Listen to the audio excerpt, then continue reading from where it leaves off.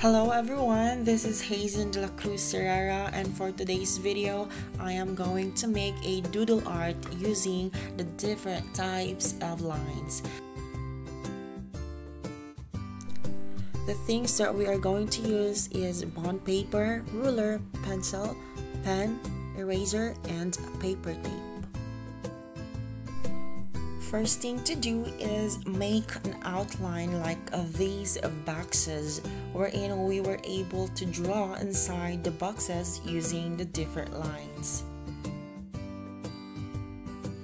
And now let's start filling these boxes with the different lines to create an art.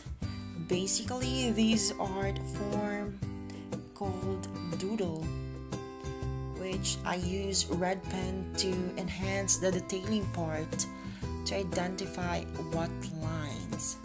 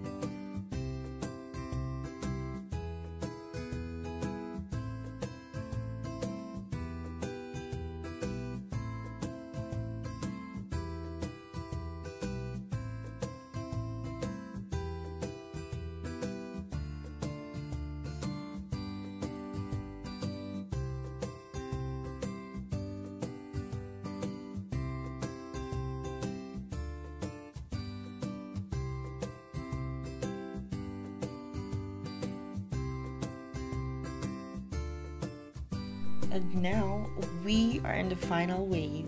See it for the result. There you go. May I present to you the final result?